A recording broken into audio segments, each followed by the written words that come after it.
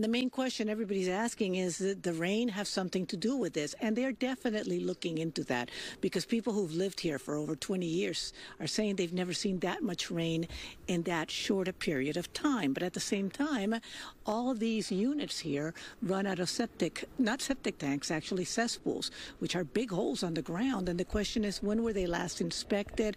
The family for Imelda Quintero, that's the name of our victim, says they had no idea there was one under their porch. And that's what it seems she fell into. Take a look. You can actually see where the fire department is working to get to rescue that woman. Now, a woman who neighbors heard calling from a deep hole at a mobile home park in Fontana. She was screaming and we could barely hear her, like, when we were close to the hole. Terrified, her family and neighbors called 911. Turns out we have a 40-year-old adult female resident of the trailer park that came walking out of her residence when the ground beneath her collapsed. She has fallen into an old cesspool. She's about 25 feet down. Mire eso y si te quedas como en shock. In shock, says her husband, anxiously waiting with others as rescuers work on getting her out. We're worried about the sides of that pit sloughing in. So we're taking our time with that. We're going to be inserting a rescuer, placing that victim in a harness, and recovering her from that 25-foot hole. Being lifted up from the hole. She was just in fear. She was crying. Everyone was saying, "Oh, she's okay. She's okay." She didn't look okay. She was pale as a ghost. She was. That's not her normal color. But she is awake and talking to paramedics, and residents have a moment to begin to wonder about the cesspit she fell in.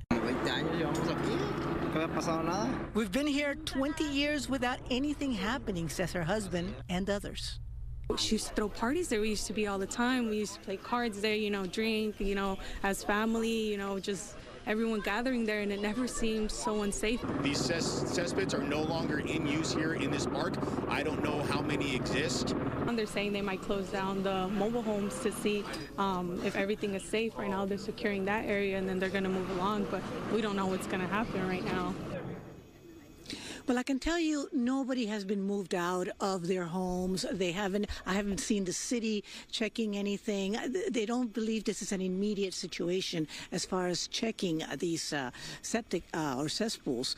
Um, I can tell you that uh, Imelda is not back from the hospital. We are told that she does not have major injuries, no broken bones, but they're going to have to probably keep her because they're going to have to pump her up with antibiotics to deter the possibility of an infection considering what it is that she fell into.